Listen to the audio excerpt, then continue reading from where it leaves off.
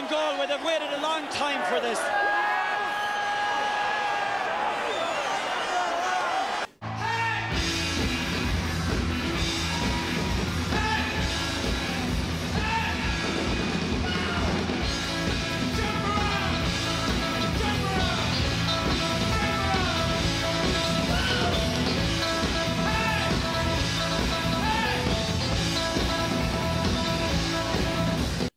Hello, everyone. You're very welcome to the Irish Examiner Gaelic Football Show in association with Renault. My name is Paul Rouse, and I am down in the Galway football heartland of Tuam in the run up to the 2022 All Ireland football final.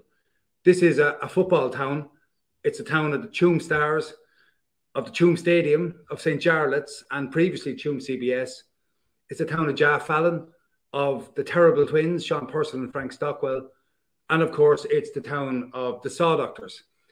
And for this very special edition of the podcast, I'm delighted to be joined by Leo Moran of the Saw Doctors. Thanks a million for for for letting me well let me into your home. I suppose Leo is the first thing. Well, I'm delighted to be here having the chat. It's uh, it's uh, one of my favourite subject matters. So this is easy. You love football? Yeah, yeah, I do. Growing up in Tuam, we were never bored. We had great fun, and we had loads of sports. But football was always the primary one. And we grew up in a town where Sean Purcell and Frank Stockwell walked around the streets. Sean Purcell actually delivered the Irish press to the house every morning before he did this, went to teaching. And then as you got older, you'd because he had a news agents. He, he, had his mother had a news agents up the street here. Uh, it was called the Connacht Tribune shop, and yeah, he was the delivery boy for the for the newspaper. Like this is in my in my uh, childhood, and uh, he had been obviously a big football star at that stage, but he was just like somebody we all knew. He was like a neighbour, and he loved going to the races. And my father was a bookie, so they were friends. And just the fact that you had somebody or people like himself and Frank walking around the town of such stature, it made football greatness seem very normal. And we were very lucky as kids. There were really good uh, talent. There were really good, talented young lads in uh, in Tuam when I was growing up. Um, in 1974, Tuam won the Connacht Community Games under 13s and went to the final, lost the final in Butlins against Dublin. Now, I was younger than that and I wouldn't have been on the team anyway, but there was a great blast of talent at that time as well. And just football and enjoying it and having some success were kind of the norm, really, as as I was growing up. I came down here um, earlier and I just walked the town, walked down Bishop Street and looking at mm. shops and and went over to the stadium and just wandering around. It's a it's such a football town. Like I noticed from say the opticians down the road, there's a picture of the Hogan Cup winning team from 47 mm. hanging hanging in the doorways. And and if you look at it, Tuam Stars have the record number of Galway senior football championships. Jarlath's have the record number of Hogan Cups or All Ireland College Championships, and so on, so on. And, and of course, Tuam Stadium hosted so many kind of football finals and big matches of all of all descriptions. So the whole atmosphere of the town is is it's a football town. Yeah, and football has got brought great joy and fun to Tuam, and Tuam people love to see a crowd coming to town. They love the fact that there's visitors and they're to be there to be entertained and there to have crack, and particularly when the Mayo crowd come to Tuam. There's there's huge connections between Tuam and Mayo because of all the boarding schools and the ecclesiastical connections. The um, there are Mayo people with real Tuam connections. Went loads of them went to school here and, and have businesses here and got married here. So there's always been great crack and rivalry, but but connections and fun as well. So that rivalry. So I I, I know Galway people who there is there are no circumstances in which they would shout for Mayo, and they actually ended up shouting for for Dublin in the four or five in a row matches, those, those series of matches for against Mayo but there seems, seems to me there's a little bit of a bitterness in that kind of a stream. But there, then there's other people who would end up shouting for Mayo. Where do you stand in that? And where do you stand in I that? I think there's supporters like that in, in every group of supporters. There's yes. always the fanatical ones and the really partisan ones. And then there's the ones that think definitely, you know, it'd be nice to see the neighbours doing well. I was always a Mayo supporter. I went up to the 96 final when they drew the match. And I thought the draw was even worse. It was like a funeral. It was worse than a loss or something. It was it was a terrible result. But um, Uh, we we've always loved Mayo and we've always gone on well with them. I went up to the Derry semi final in '98, and I had been living in Clonbur, and I knew a few young lads from Clonbur at the time.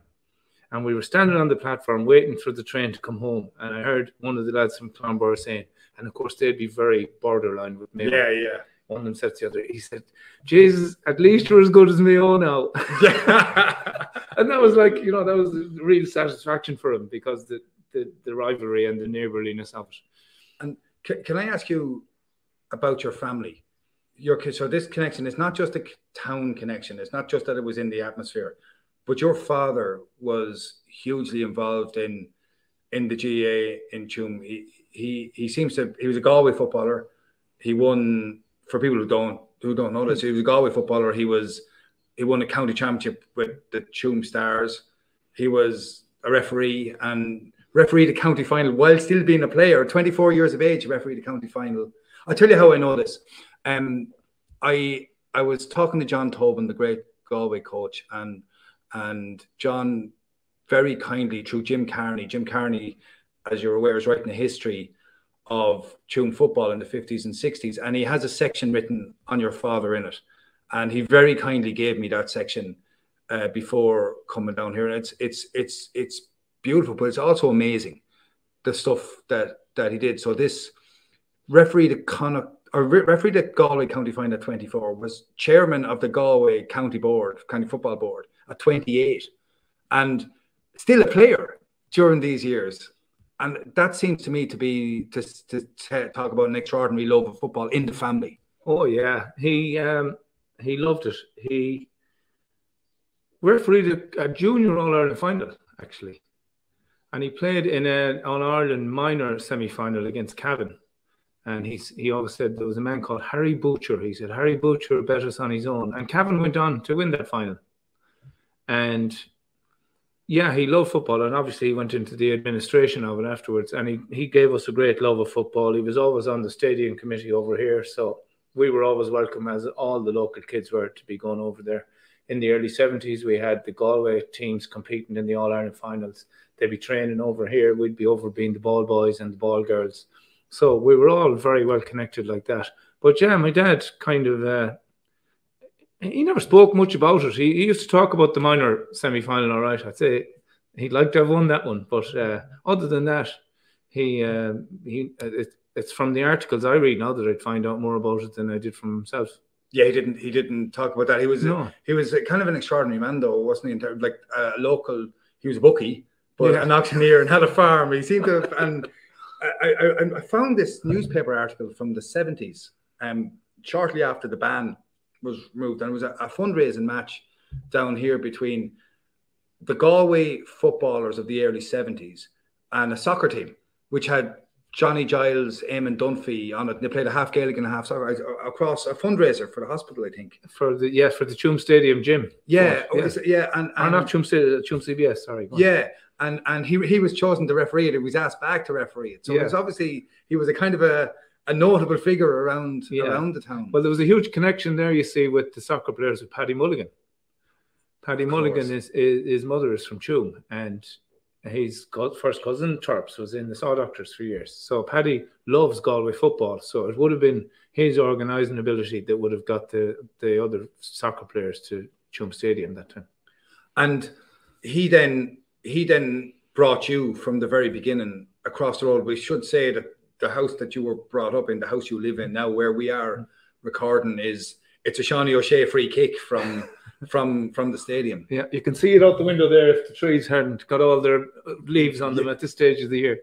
Yeah, and, and so it's just it was a like I said, a second home to us being over in the stadium. We could go over to the stadium anytime we want and have a kick around into the goals. What a privilege! Like you know, it was magical, and it wasn't something you ever got you took for granted or got used to. It was just something that was available but brilliant at the same time.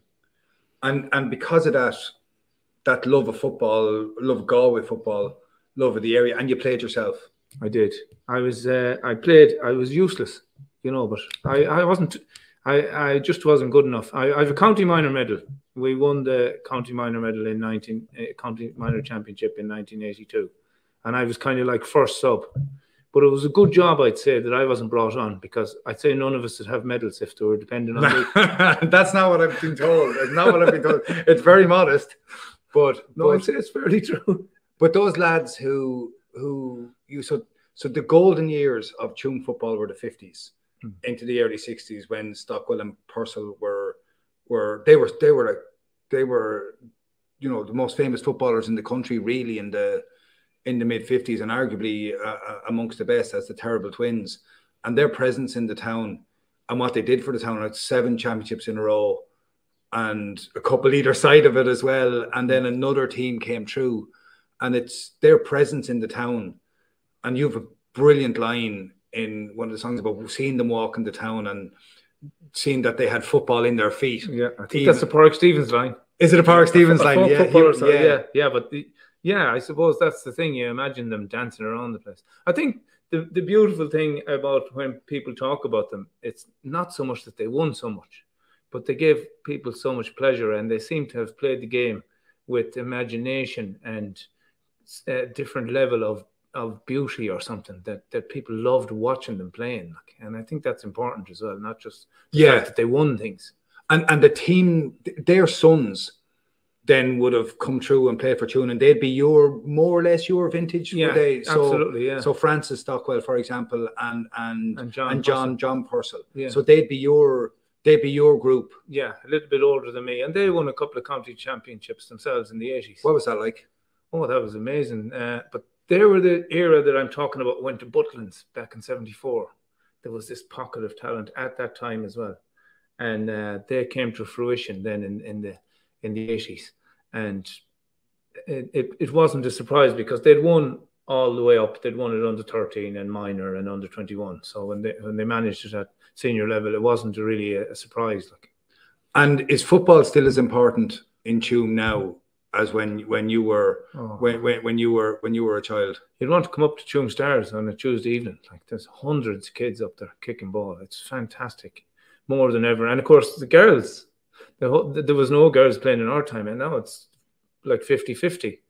And it's just um, it's a hugely successful and fun thing to do for people, and it, it's huge at the moment among the, among the kids. Yeah, and, it might might be even bigger now than ever was. Yeah, in terms of participation, and yet there's a struggle. I know Ja Fallon is involved in the club, does huge work with the club, and is probably the last really celebrated footballer that came out of Tuam. And is is is there a sense of expectation that a championship can be won again, or is it back to the idea of of the, that fun, that the idea of, of of enjoying the football? Well, they've been competing very well in in recent years, and they were fairly close in a couple a couple of times, and uh, they brought Corofin into a replay in one final, and with the numbers coming up now uh, underage, you'd imagine that it, it can't get anything but better in in the near future, you know, or the n- middle distance future anyway. as as as as it runs as it runs through. And in all of this time, you were a Bob, and you you you went to All Ireland finals in the seventies. Yeah, I was awful young. It was the time you go over the turnstile and sit in your father's knee. Like I was at the one in 1971. I was very, very young. We got the train from Tuam. Uh, off, Offaly won it, obviously. It was an amazing thing for a child to go up and see your heroes losing because, you know, all the heroes you had ever seen before on television or whatever, they always ended up victorious. And then, same thing again, 1973 up against Cork, and Jimmy Barry Murphy had his magic day and then in 74 up against the new Dubs. And so Galway lost three finals 71, 73, 74. And you were at you were at all I was at them. all, yeah. And uh, obviously very disappointing, but it was a great lesson in life as well. And at the time, you could say Galway were like the, the Mayo of the time. They had three final losses in a very quick succession. and then came back again and had another final loss. in- Yeah. In in '83 to Dublin, Yeah. another tight one, and you're beginning to think at that stage, this is this is this is a lot of a lot of loss. Yeah. And the 60s, the three in a row was beginning to fade into the distance further and further. Yeah, and the memory of that, it kind of me- memories and the legacy of success can be a burden Yeah. too. And so there's the burden of history, the burden of failure, or, or close failure, and you you you talked. You wrote a brilliant piece twenty years ago. I found it in the papers where you talked about how these men were your heroes and how they were fantastic footballers, but they feel, seem doomed just to come slightly short. Yeah, like I think as somebody like Tommy Joe Gilmore was a colossus of a player, fantastic footballer and a fantastic man, and he was just so unlucky amongst other great players on the team. But but if you if I was to single out one, he was just a, a magical character, and he was great every day, and he was just unlucky that he didn't get the ultimate prize. But that's what happens. I don't think he'll have. I don't think it has changed his life for the worse. But 1998, Galway. I won't say come out of nowhere because there had been underage teams that were tipping along, and they. But 1998, you, the success in 98. What was how, what was the meaning of that success for for you on a personal level? Well, it was. The, I'd been like like we've said, I'd been at the 71, the 73, the 74, seen the 83. I was in America in 83. But um, you, you were so used to the disappointment that the, that but the success wiped it all away. It was so worthwhile. And I always think, you know, counties that win it seldom, it means so much more to them. There's there's there's great satisfaction and a certain amount of joy for counties that win it on a fairly regular basis. But there's ecstasy when a county wins it for the first time in so long. It's just a magical, magical thing. It's a great way of of getting people's spirits up to a level that they can't get at normally. I want to talk about the music of those years. We are going to talk a little bit about the Saw Doctor songs, and I think you're going to play a tune for us later on. But though you you you released a kind of a side project with Pádraig Stevens, also like brilliant songwriter from from this area, and you released that those kind of it's 98 and 2001 there was a kind of a there was, yeah. Bits and pieces of songs that came out of those periods. It, it actually straddled the era between the tape and the CD. Did it really? Yeah, Did the 98 really? was on tape and the 2001 was on CD. Released as the folk footballers. Yes. And the songs in that, they're they're about the love of football, love of football.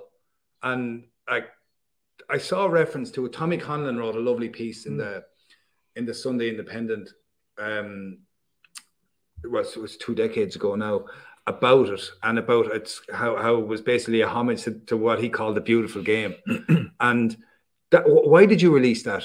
Why did you release that album? Well, when Galway got into the final that time after winning the semi final against Derry, there was going to be three weeks, or there was more than there is now anyway. And I said to Pádraig, "Do you think might we do a song for the team for the final?" And Pádraig said, no. He said, we'll do an album. and we did. Now, we were kind of cheating a bit because Pádraig had a few football songs already written and recorded. So we kind of just had to top them up, really. We'd, we'd more than half the album, our Pádraig had more than half of it done. So we wrote a few other ones and we managed to get 10 songs together for the tape eh, for 98. And then we expanded it a bit then for 2000 the first 15 yeah and and how was it received we gave a copy of the tape after the All Ireland to the each member of the Galway panel, and they were looking at us like we had two heads. They, I think the connection between music and football was kind of um, it, it, didn't make. I suppose they were so taken up with the football side of things. They mightn't have seen why how it could be connected to music and maybe musical people mightn't see how you could have 15 songs about football. I'll tell you a funny thing. We had the tape on sale at a gig in England, and it was the folk footballers 10 songs about Gaelic on, on the on the bottom of the tape. And I heard a woman saying to her husband at the at the so she said, "No, the print was small. I wouldn't buy 10 songs about garlic." but uh, it, it made sense to us because Pádraig always loved football. Pádraig, uh, Pádraig's father was on the on the team that won in was the 25 and um, uh, Staff Stevens he was a famous uh, football personality so Pádraig had as much football in his family uh, if not more than was in my family he's His brother Sean won an under 21 with Galway uh, back in the early 70s. So they were they were always connected. Pádraig played a bit of football himself, and it was just very natural for us to want to write about the crack of it all. And you went into the stadium. You went into the dressing room in in in Tuam Stadium to record the great Connacht final song. Yeah, we did. Sure, we went up for the bit of reverb, bit of Yeah, yeah, and the feet, yeah.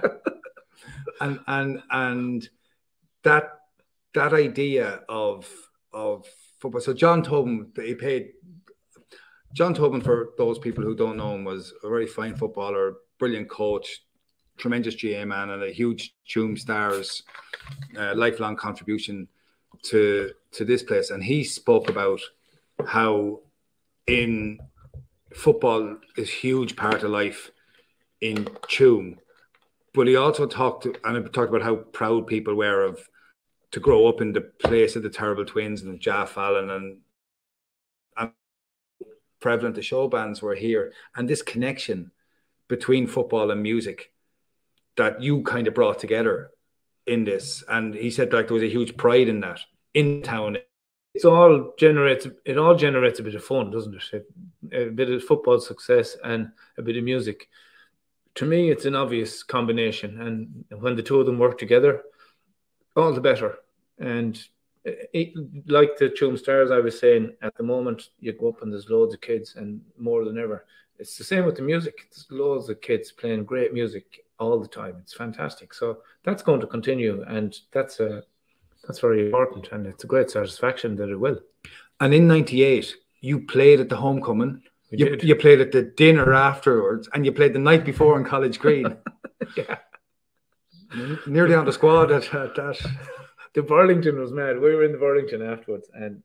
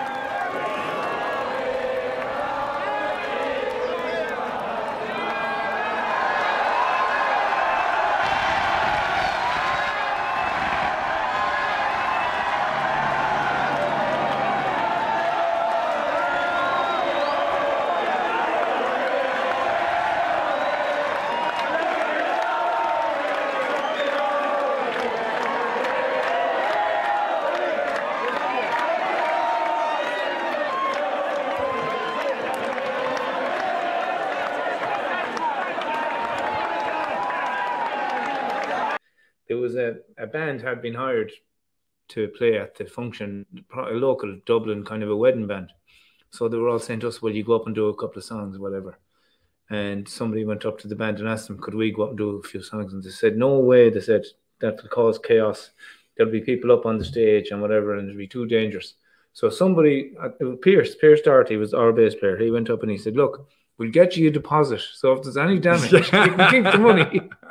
So he, he got together a few hundred quid, I don't know what it was, and he said, We put it at the side of the stage, and then they announced us. And we said, No, there'll be nobody up on the stage. So we went up on the stage, half the team was up on the stage you.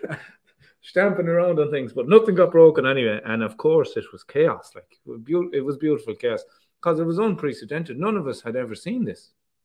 It was completely new to us all. And it was the West Awake as well, though, Yeah, wasn't it? It was it was the idea of Sam coming back across the Shannon. yeah, and it was such a long time. and and the other aspect of it i think which is massive and it's massive in your music is the connection with people overseas and i i know that you had a couple of ucd students for example uh derek savage and john divilly and a couple of others over in london Yes, which he in a gig afterwards There was a wonderful Galway supporter, Dympna Burke from Dunmore. She was God rest her, and she she did everything for the supporters club. And we had a gig on the twelfth of October in the Albert Hall. Completely coincidentally, it was our most ambitious gig ever in London, and it looked like we were going to get away with it. It was sell, it sold out, and we said, wouldn't it be brilliant if we could have the cup over in London? For uh, The fortnight after the final, more or less, isn't the it? Final, yeah. So um, we asked Dympna, and Dympna said, you know, the cup was trying to go everywhere. She said, but I'll do my best. So Dympna managed to get the cup.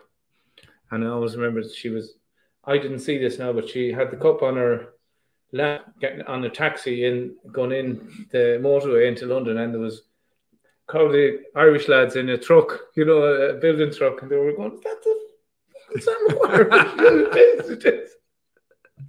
So we had that, and we had John O'Mahony over, and we had Damien Mitchell and Kevin Fallon and Derek Savage and Don, John Divilly over for the night, and we produced the cup. Now, obviously, it would mean something to a lot of people at the Solishes gig, but in other Not words, to everyone. not to everyone. But they got the excitement of it, you know, when the cup was brought out, and they knew we were excited. It was a magical moment. And lads were kicking, there were footballs on the stage, Yes, and yeah.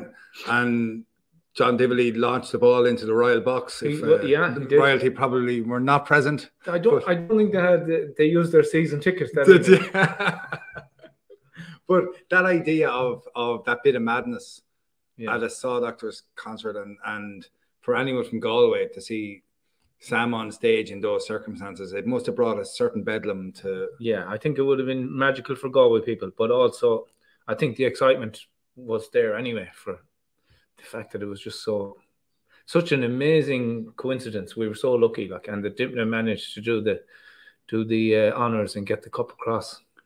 And you know, you know now when when you hear, say, the N17 played after, it was an amazing thing actually after the Galway Armagh quarter final, which was such an incredible occasion and ending in the penalties. And there was absolute Armagh people were really, they were really devastated after their loss. I'm one very proud of their team, but devastated in their loss. And then Galway crowd are celebrating and delirious and N17 came on the Tannoy system in, in, in Park and Galway people were everyone was singing along. But I looked around me where I was sitting and there was a few Armagh people singing too.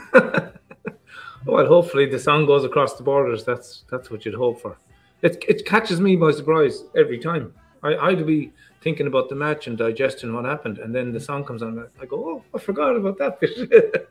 it's a great buzz when you hear a crowd singing like that. God, it's magical. Communal singing is is is something that brings people to a level that they can't normally get to. and it ties with the football though, isn't it? The identification and and um, Bryan Sheehan, who does this podcast with us ordinarily, the former Kerry footballers, great footballer, he he was saying that he he uh, he knew we were coming down to to have a chat, and he was saying that his great wish is that he doesn't get to hear N17 for more or less for the rest of July. Um, He wouldn't mind to hear it in August now. yeah, August is fine, I think, but but uh, but not at that point. And then, uh, but you've also written the Mayo song, really. Yeah, well, that's that was just pure luck. We went out to a festival in Clare Island back in 1990. Never been out there before. The Moaming Cajun band were playing out there, and we all went out, and it was a magical night. We went on all night, and we were coming in the following day in the boat. Beautiful Sunday, the be- most beautiful day of the year. The sea was flat calm, Clew Bay, and we were looking up at Croagh Patrick, and the the hills were red and green, as you know, the heather and the grass, and we were saying that's that's obviously where they got the jerseys from. So we started making up this poem, and Jerry Mulholland was there with us. He's known as Jerry Almajar now. He's actually Alan Mulholland's uncle, and he contributed a good few lines to the poem we made up, and we had it written on an envelope or the back of a cigarette box or something. And Davey took it and he put a tune to it, and just happened like that. It happened very naturally. And for years, it, it kind of sat underneath the radar, and then it kind of bubbled up into people's consciousness of, about being a song for the Mayo team. And it kind of is now. Yeah, it's taken. It's it's it's taken off. Yeah. Um, and that that sense of belonging is. I was trying to think about this. I know you went to you went to Galway and to college in Galway, and you did sociology there, and you were Michael D. lectured you. He was a brilliant lecturer, a brilliant teacher, and Yeah. just an interesting, interesting man. But did that idea of a small town, did you take any of that back from sociology and think about what it was like to be in a small town or about football in a small town? Did you think anything around that?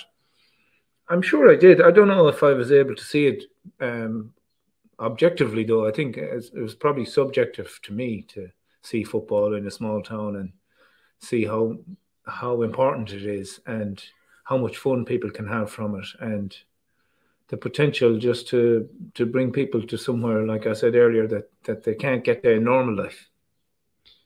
And and in the band though, not everyone's a GAA fan. No, not a football all. fan. No. And isn't it interesting in a in a town that people think like I always think everyone thinks everyone's in Kilkenny. In Kilkenny's interest in her. I know a lot Yeah. of people in Kilkenny. They, they they just don't care, and in fact, they react against it. Is there a reaction against that football thing in in in Tuam as well, amongst certain things? I don't know if there's a reaction against it, but there's plenty of other things going on. A very strong soccer scene. I played a, I played more soccer actually when I was young. Did you really? Then I played football, yeah. And um, there was a great basketball scene here in Tuam as well at the time, with great connections with Ballina. Uh, Liam McHale was the best basketballer in the country uh, at the time, possibly the best basketballer that Ireland has produced still. And there was all kinds of other sports going on. You have athletics and gymnastics, and so football isn't the be all and end all for everyone. Of course, it isn't, but it you know it's probably the highest profile, obviously. Would you trade any of your musical success to have played for Galway? I probably would have one time, but when you think about it, musicians are luckier than footballers because I'm 57 now and I can still do what I was doing when I was 23. And in actual fact, I'm probably a bit better at it than I was at the time. But it's hard on athletes and footballers because they can't do that. So I think in the long run, I would have loved to have had some sporting success, but in the long run, you're better off to have something that you can keep doing for longer, which is which is what we're at, and we're lucky with that. and you're there's something there's an incredible kind of parallel going on here in a in the sense that the saw doctors are back gigging this summer in the just as Galway return to an All Ireland final. It's lovely to get associated with positive things. I think that's great, and and the fact that people would associate us with the with the football success. I mean, it's pure coincidence, but it's great. And uh, I'm going to I'm going to ask you if you play if you would you play the maroon and white first I oh, will, of course. as a as a way to finish up. Yeah, this is one that this is one myself and Pádraig put together for the folk footballers album at, at the time, and it uh, kind of works. Dreamt I'd wear the jersey All Ireland final day. I'd stand out there in Croke Park with a mighty part to play. We'd run out of the tunnel to a great big Galway roar. We'd have our picture taken and head down to the goal. Line up with the captain and march behind the band. And when they played the anthem, we'd face the flag above the stand. Cause me heart is in maroon and white. I'll stick with what I know. Maroon and white forever, no matter where I go. And when the ball comes towards me, I turn and head for goal. And I stick it in the corner like a bullet, hard and low. And I dreamt I'd hold a medal so precious in my hand. But the people all around me and the ghosts up in the stand. Then on Monday evening, we'd bring the cup back home. The bonfires would be blazing all along the road. Cause me heart is in maroon and white. I'll stick with what I know. Maroon and white forever, in hailstones, rain or snow.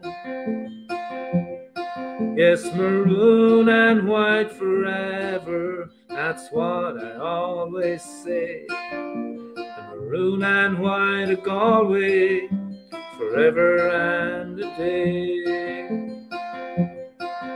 The maroon and white of Galway, forever and a day. That was absolutely, absolutely wonderful. Um, and I can't think of a better way to finish. I can't think of a better way to tie together the meaning of football and to this town and to the county and I suppose what what match means next weekend and um, we can only hope for I think for a fantastic match That's it. and let's see what happens then when it all Absolutely. Thank you. A pleasure. Thank you for having me on. Thank you to Larry Ryan for running this podcast, to Raf Rocca, Jack Neville, to Tony Leen for making it happen, to everyone in Examiner Sport. Thanks to Renault for their support. Um, Baimi Chernashkalua.